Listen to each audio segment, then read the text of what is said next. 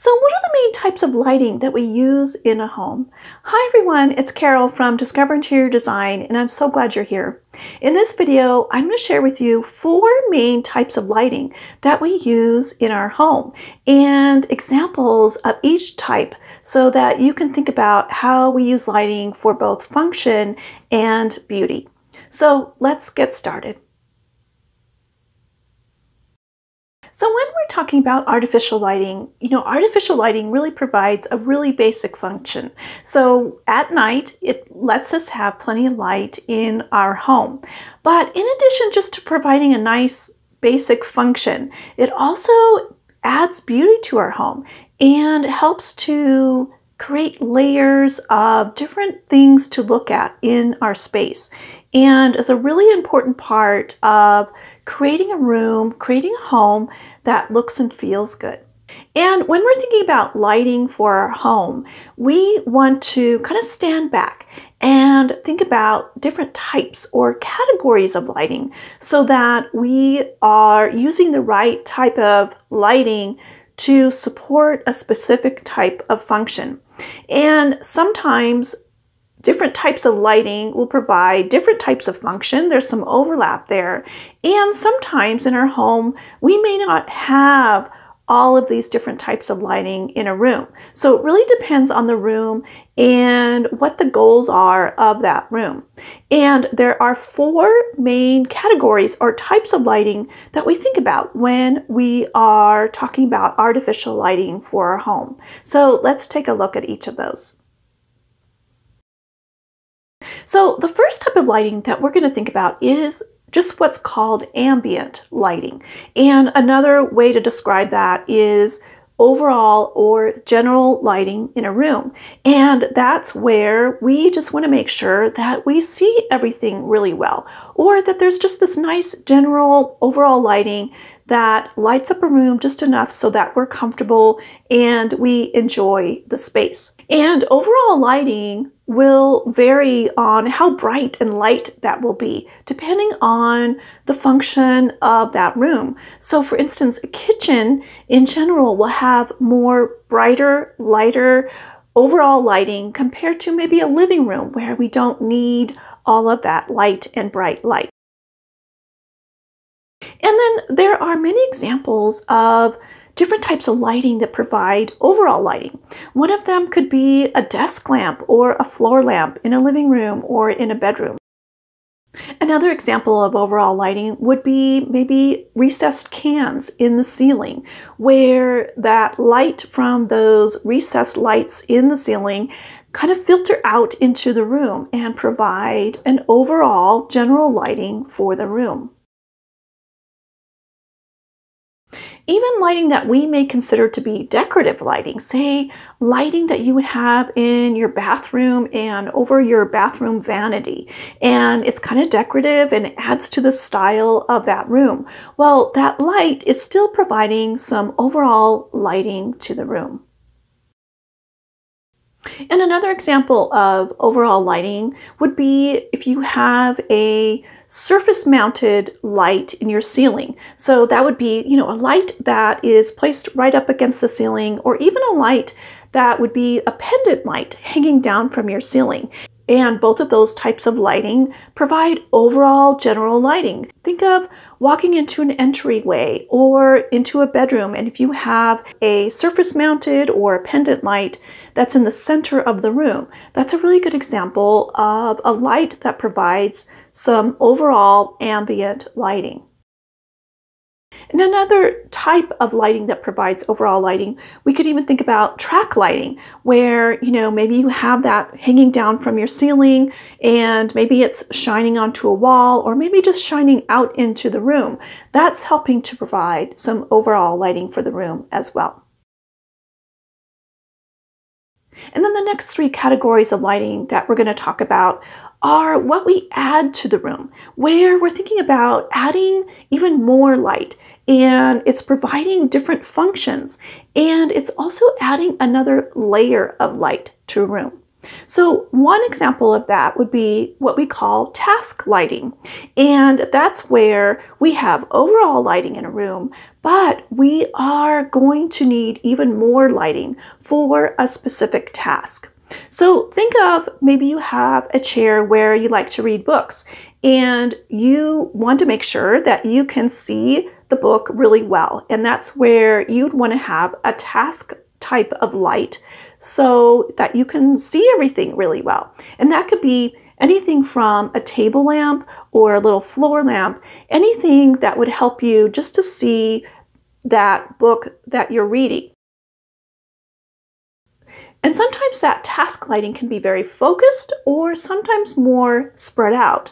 And when we're talking about a type of lighting that would be very focused, would be maybe a table lamp that you have on your home office desk where it has a shade that is focusing that light down onto your paperwork so you can see that very well. But then on the other side of that, maybe you have a kitchen where you have under cabinet lighting and we don't see that lighting. It's kind of hidden. But what we do see is the light that it's providing. And that can be kind of this overall lighting, you know, this nice spread of lighting that's up on the backsplash and on your counters. And it provides kind of this overall lighting, but it also helps us to carry out a task such as chopping up vegetables or preparing a lunch so that we can see everything really well. And then there are other types of lighting that we could consider task lighting that maybe are a little bit softer and not so focused. So we can think of maybe a chandelier or a pendant light over a kitchen table or over a dining room table. And they are providing some overall lighting to the room, but they're also helping us to see the table and, you know, the nice food and the nice dinnerware that we have out so that we can see everything really well.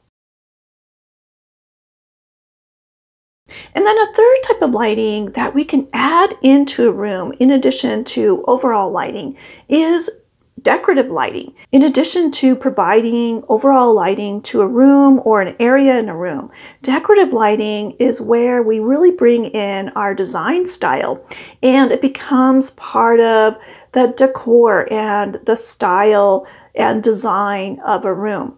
So we can think of a dining room chandelier, and that's where we would choose a chandelier that matches our design style, that makes sense with how we decorate our home. And at the same time, it's providing some overall lighting and maybe even a little bit of task lighting to help us see the dining room table really well. And in addition to that, it looks beautiful and it becomes a very important part of the interior design and the style of that dining room area. You know, the opposite of decorative lighting would be maybe under cabinet lighting. That's where we don't see that lighting. We don't see the light bulbs or the light fixture itself. And all we want from that is just the lighting itself. Whereas in decorative lighting, we want to see the light fixture because that's part of the design, that's part of our style, and it reflects how we want that room to look and feel, as well as providing the function of lighting an area.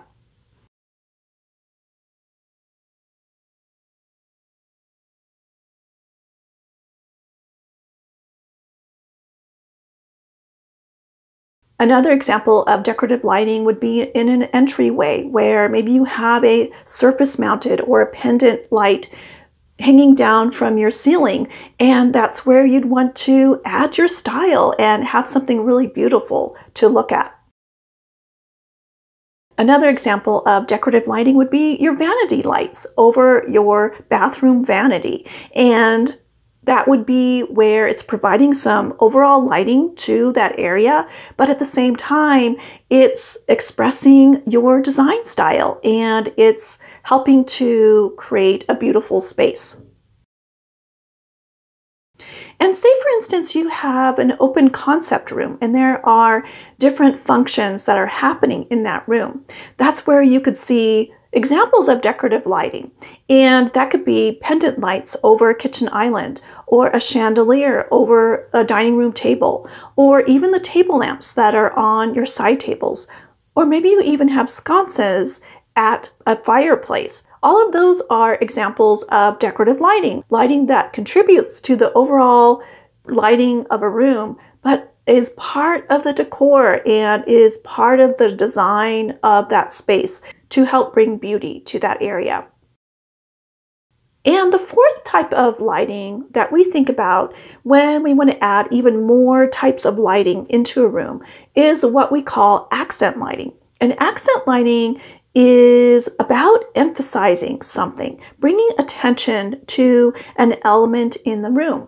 So, a good example of that would be say you have a row of artwork or even one just large painting, and you have track lighting or even a recessed type of light fixture that you can pivot to spotlight that artwork. That's what we would consider an accent light, where it's really giving emphasis to that artwork so we can really see the artwork really well. So that's an example of where it's very focused and very directed towards a certain area. Another type of accent lighting would be where it's more spread out, but it's still drawing attention to something in the room. And an example of that would be cove lighting, where it's inside a cove in the ceiling and it's providing some overall spread out light so that we can notice the beauty of that beautiful ceiling and all the details that are going into the design of that ceiling.